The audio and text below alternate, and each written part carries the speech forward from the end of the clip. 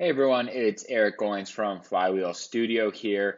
This is part two of our kind of mini series. It's only two parts and it's pretty short videos of what you can and cannot build in Adalo. The last video was what can you build, and this video is what can you not build. So I want to talk about the three main types of apps that you cannot build in Adalo. Okay and it's really simple and and to be honest i think most of that makes a lot of sense to people once we go through this.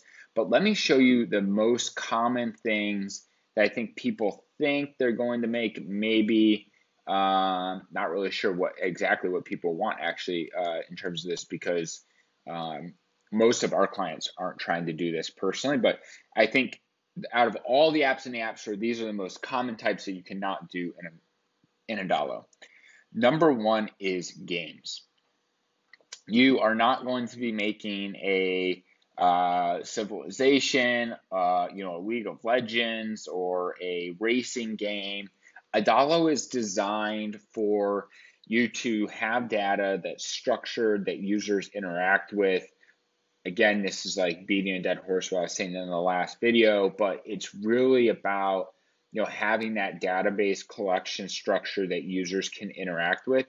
And games are just very different from that. There's a few core components Adalo doesn't have. In particular, you don't really have this whole thing about um, you know how a user would just interact with the game on the screens. That it would be very very difficult to do that on a Adalo the second thing is you don't have access to a lot of the functions that most modern games have, whether it's like the gyroscope so people can tilt it. Um, you, you just don't have those features.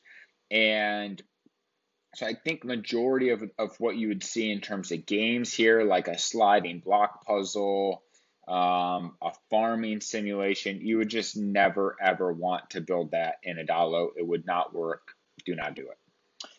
Okay, our second thing here, okay, is entertainment. All right. Adalo is not designed to integrate with other physical devices, and it probably would not integrate with a lot of uh, other solutions. So if there's an API out there and you have a custom API, you can connect an Adalo app to that. Okay, has to match. It has to be a RESTful API and a few other things, but that's the only integration Adalo has. So you're not going to be doing like a screening to a TV. Um, you know, it's not going to be, you're not going to use Adalo to live stream different things, although I think, I guarantee you somebody will implement that in the future. Um, you probably aren't going to use it to, you know, integrate with Netflix, although maybe you could. I, I just think a lot of these are a little more complicated than what you'd want to do on Adalo. It's not, you know, some things you might be able to in the future, but that doesn't mean you necessarily should. And the other one I want to say with that is also things like uh, like these type of business apps here. So like opening and using PDFs yes, you could show a PDF on a Adalo, but you wouldn't want to try. You cannot edit a PDF on a Adalo. You cannot convert files on Adalo. Um, it wouldn't work for like remote desktop type integrations. Um, you know, you're not going to be opening uh, open office documents on Adalo. You can just view things if if they're in certain formats, and that's that's really it. Um, for some of these like Trello, you absolutely could build a Trello board on Adalo. Um, we, we actually basically did that with our Cami clone that we developed for Knodalo.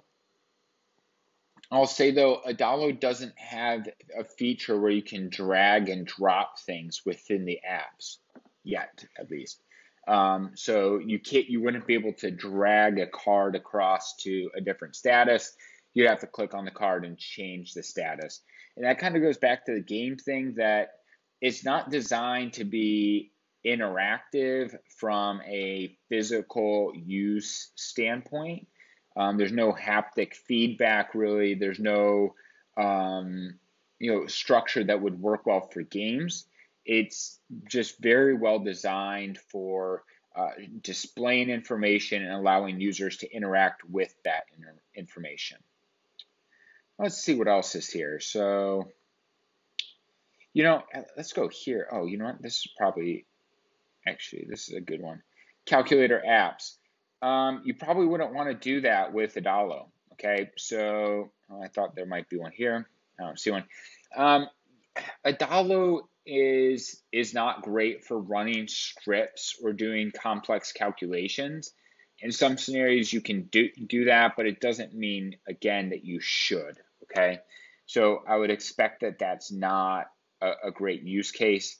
A better use case though would be a currency conversion calculator because uh, this is a list, okay, and you can integrate Adalo directly into a um, currency um, API. You might not want to do a full function thing here and try and do math. Uh, I guess maybe that's up to you if you want to try and do that. But it would be very easy to build something where you put in an amount in one currency and you select the other currency, and then that will tell you um, what that currency is worth based off of the exchange rate at that time. That would be something easy to do.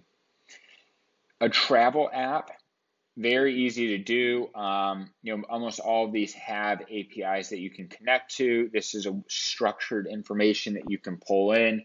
We looked at building this for one of our clients, and um, we saw that it was very feasible to work with uh, their systems and uh, build kind of like a structured thing. So travel would be good, but you would again, you're not doing any complex calculations in there. The last thing I'll say is Adalo doesn't have a great photo editing.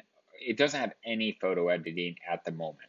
Okay, so uh, you can't upload a photo and then resize it and then change the colors. There's no filters. So building something that's more like a true Instagram app is not possible at the moment. Um, and that's really probably the biggest limitation to social apps that we see right now. It's just that lack of um, a custom component for this. But uh, I would fully expect this to change when the Adalo custom component store becomes available. And then, secondly, you know, on that, the one main point that a lot of people are probably thinking about right now is what about GPS?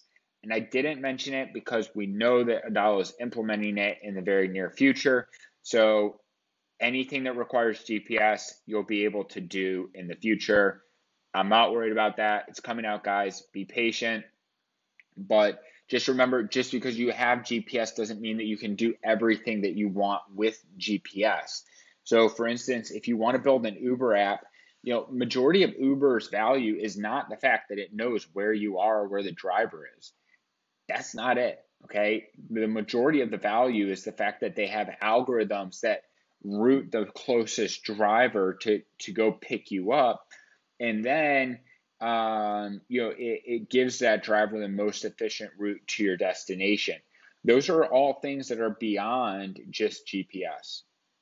So do keep that in mind. You do want to think about um, you know the different components that you're trying to build for an application because just because you, you can't do one part of it doesn't mean or you can do one part of it doesn't mean you can't do the other part or you can. I hope that's helpful. If you have questions about what you can build with Adalo, do let me know in the comment section below. I will happily tell you whether it's possible, not possible.